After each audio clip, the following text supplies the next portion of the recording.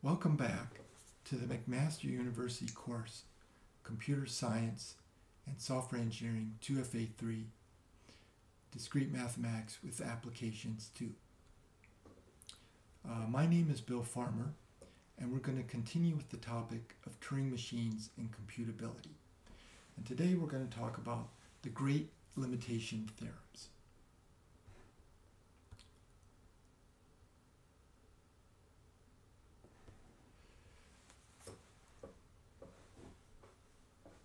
The great limitation theorems are theorems about the limits of what we can do with computing and what we can do with mathematics, what we can do with logic. Uh, there's, there's four of these. The first is called the first completeness theorem. This is a theorem proved by Kurt Gödel in 1931. And this theorem says that if we have a proof system, any proof system that's consistent, sufficiently strong, and recursively axiomatizable, then we cannot prove all the truths of natural number arithmetic. So there is no system that has these three properties in which we can prove all the truths of natural number arithmetic. Whatever system we have, there will always be something that's true about the natural numbers we can't prove. So what are these three properties? Consistent means that we can't prove we can't prove in our system falsehoods, which we would expect our system to be like that if it's going to be useful. Sufficiently strong means we can prove some basic things about numbers and lists and so forth. Recursively axiomatizable means that we can write a computer program that can tell us whether a rule or an axiom belongs to our proof system. Now, almost every proof system anyone uses is recursively axiomatizable. Uh, the goal is always to have a proof system that's consistent.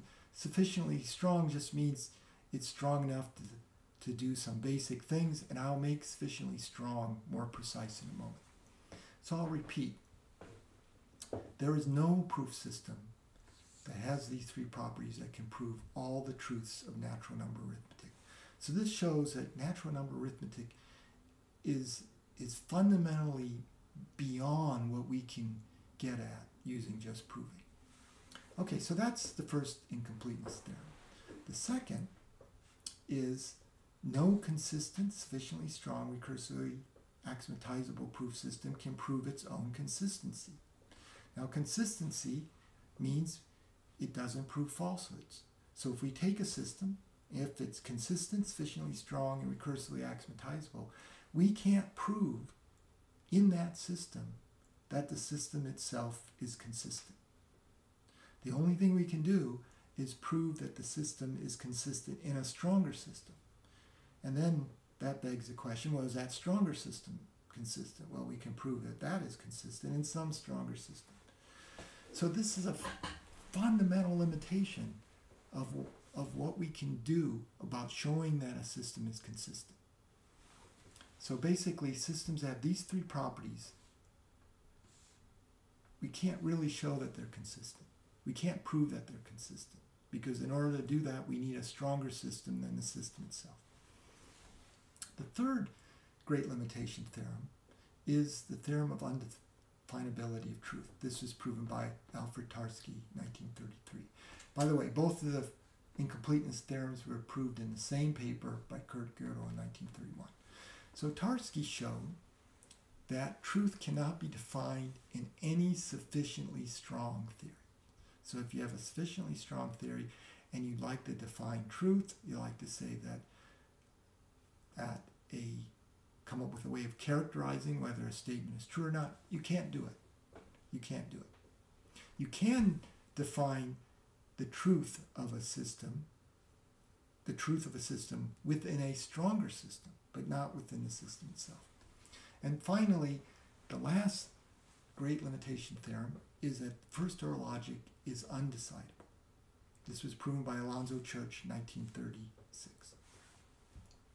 What that means is we can't decide using a computer program or any kind of computable function whether a given formula of first order logic is valid or not. So, so these are these are these theorems severely limit what we can do with with logic and computing. Okay, so I have a I have a question for you. The question is, the great limitation problem state that there are limits on what can be, and you have a choice of proved, defined, computed, or all of the above. Okay, so I'm going to give you a moment. You can stop your video, come up with your answer.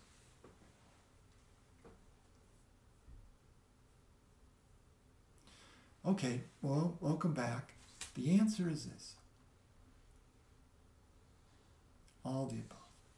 The great limitation theorems, they, they state limits in all three of these. What can be proved, what can be defined, and what can be computed. Now to make this, these theorems more concrete, I'd like to look at a first order theory called Robinson arithmetic. So Robinson arithmetic is a first order theory, so the first order si signature has the constant zero, the unitary function symbol successor, and the functions plus or times. It is a theory for natural number arithmetic. And it has seven axioms. The first axiom here says that zero is not the successor of anything. So the successor of, let's say, 3 is 4, so you know what successor means. The second says successor is injective. So if the successor of x equals the successor of y, then x equals y. The third says every, every, in this case, natural number is going to be either 0 or the successor of something. And then these two are the recursive definitions for addition, which you've seen before, and these are the recursive additions for multiplication, which you've seen before. That's it. That's Robinson arithmetic. This is named after Raphael M. Robinson, who discovered it. And this theory is very interesting. As I said, it's a theory of natural number arithmetic. It is a sub-theory of the more well-known theory of natural number arithmetic, first order Peano arithmetic. First order Peano arithmetic has these axioms plus the induction, the induction schema, the schema that corresponds to weak induction. Axiom 3, that's the one that says every natural number is either 0 or a successor of something. It is used in place of the induction schema. Now, without the induction schema, this theory, which by the way is often designated as Q, this theory is very weak. It's a theory of natural number arithmetic, but it's very weak. Uh, we can't prove the associative laws or the commutative laws for addition and multiplication or the distributive law. We can't even prove the, the theorem that says for all natural numbers, the successor of the natural number is not the natural number itself. We can't even prove that. Um, these are not logical consequences of Q. The interesting thing is we can prove all the instances of these laws, of these logic, these, these uh, laws or these statements. For instance, I can prove that 2 plus 3 equals 3 plus 2. I can prove that in Robinson arithmetic. I cannot prove for all x, for all x and y, x plus y equals y plus x. I cannot prove that. This system is too weak. So, so the, the interesting thing is these limitation theorems apply to Q, even though Q is so weak. And uh, we don't know, we can't prove that Q is consistent in itself, but it's very likely that Q is a consistent system. It's very unlikely that we can prove falsehoods from Q. So it's consistent it is sufficiently strong. In fact, we can use it as a definition of sufficiently strong. a theory is sufficiently strong if it can do whatever Q can do. And it's recursively axiomatizable. Remember, that means we can use a computer program to determine what are the rules or and axioms of our proof system. Uh, it's recursively axiomatizable because there are only seven axioms. So it's very, we can easily write a program to recognize these seven. Okay. Um, and Q illustrates the fourth, fourth limitation theorem because it is an undecidable first order theory. If you write down, if you write down any formula, uh, if we, just pick any formula in this theory, so it's going to involve successor and plus of times, there's no computer program that can tell whether that formula is valid or not. So, if we think now about the meta theorems of Q, these are not the theorems we prove in Q, but the theorems about Q, which we call meta theorems. We can first say that Q is finitely axiomatizable, has finite number of axioms. Therefore, it's recursively axiomatizable. It is incomplete, and that means that there are truths about the natural numbers that we cannot prove in Q. It's incomplete. But more than that, every consistent recursively axiomatizable extension of Q is complete. So if there's something we can't prove in Q, and we add that as an axiom, there will still be something we can't prove in Q. And you can do that over and over again. The, and you'll never, you'll never get a theory in which you can prove everything unless that theory is becomes inconsistent or it becomes so complex that we can't even tell what are axioms and what are not. This is called essentially incomplete. Not only is it incomplete, but every consistent recursively axiomatizable extension of Q is incomplete.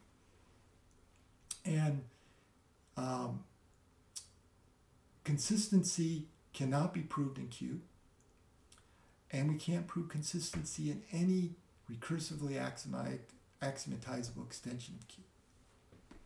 And truth is not definable in Q, and Q is undecidable. There's no computer program will tell us what is valid in Q, as I said before.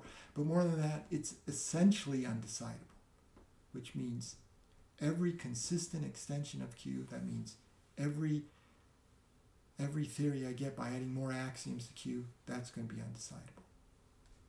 And as I said before, we can we can think of of a theory being sufficiently strong if we can embed Q in it in some way. So the interesting question is, how did Robinson ever come up with this amazing theory? Well, what he did was he analyzed he analyzed Kurt Gödel's proof of the first incompleteness theorem and he basically used he used only the axioms he needed about natural number arithmetic to make sure Kurt Gödel's proof went through. And the axioms he discovered that were needed are the axioms here, these seven axioms of Robinson arithmetic. Okay, we'll stop here. And next time, we're going to start with the very interesting, important topic of Turing machines. So see you then.